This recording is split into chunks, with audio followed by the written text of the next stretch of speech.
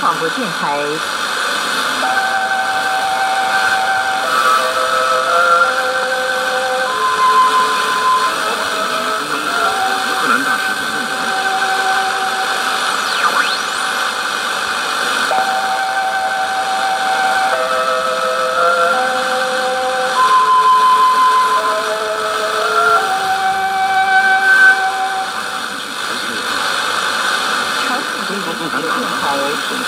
九千五百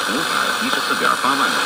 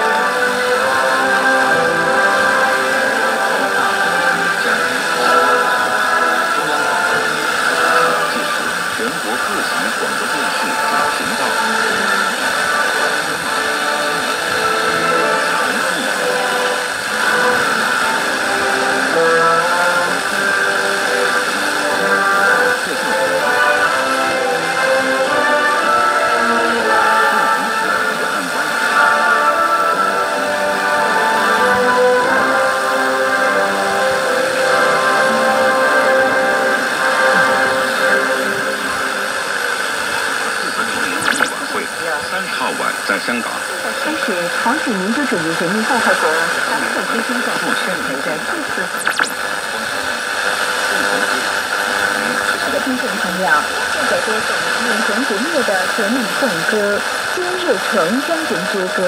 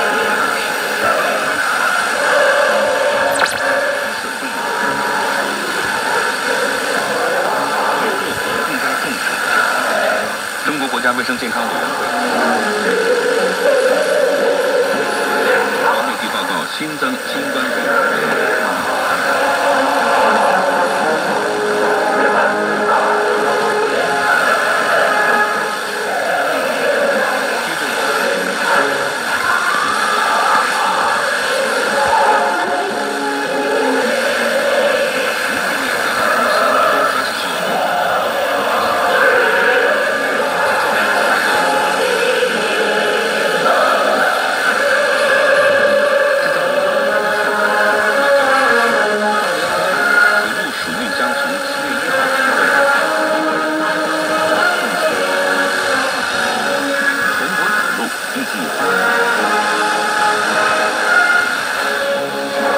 计，新一期全球超级计算机五百。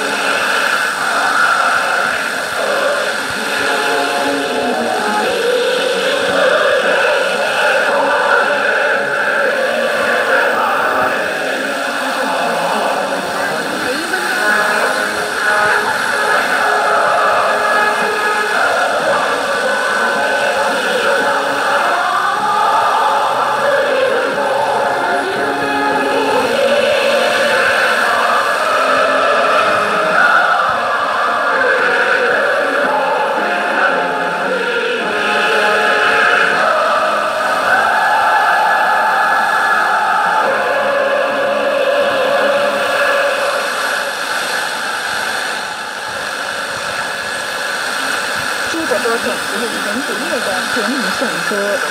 正热将军之歌。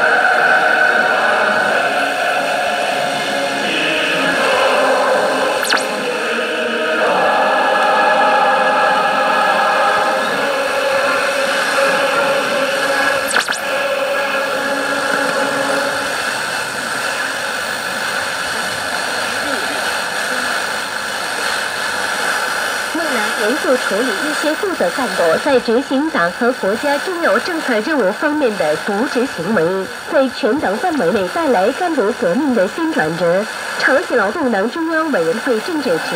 六月二十九号在党中央委员会总部大楼召开了朝鲜劳动党第八届中央委员会第二次政治局会议。朝鲜劳动党总书记辛拉东先同志主持了会议。参加政治局扩大会议的有党中央委员会政治局常务委员会、政治局副委员和候补委员，党中央委员会干部、各省中央机关党和行政负责干部、各道党委责任书记、各道人民委员长、各市郡和联合企业党委责任书记、武装力量机关和国家非常因此之前提到了在党中全镇刚刚结束，舞台上，主管国务局的干部在执行党关于根据旨在对付全球性卫生危机的国家非常防务战长期化要求。在组织机构和物质科技采取政策的重要决议方面不断配合，从而对国家和人民的安全造成重大危机等，导致了重大事件，并指出了其严重后果。他严厉加以分析说，在宣传执行党代表大会和党以习近平同志为核心的党中央坚强领导下，中国特色社会主义的主要因素是干部的无能和不负责任。他说，在全党范围内，要更有力地展开一场消除当中出现。